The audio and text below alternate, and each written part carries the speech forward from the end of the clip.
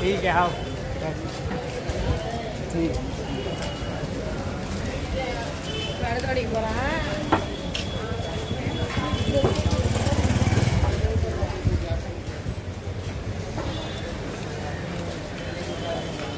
तुम्हारा पाहिजे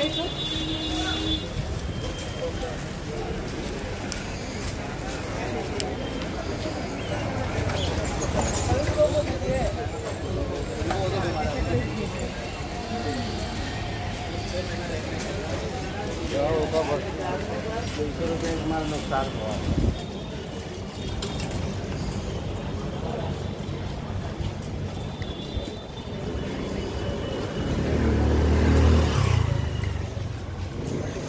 वो खराब है। कोई भी